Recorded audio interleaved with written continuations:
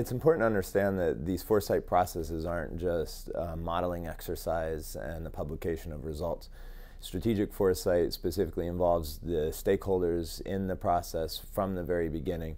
And, and it's very important to bring in our, our boundary partners and our stakeholders as, as part of the uh, startup of, of the uh, foresight process. It, um, by bringing in the uh, boundary partners from the very beginning, they have an opportunity to help define the, the uh, flow of the analysis as well as the inputs and, and, and specify very clearly what their needs are uh, at, at the uh, at, tail end of the process. Um, uh, ultimately, it's this interaction with, uh, with the boundary partners that helps uh, define the analysis and then uh, creates a willing partner ready to, to take a look at the results and think about how it factors into their own decision making.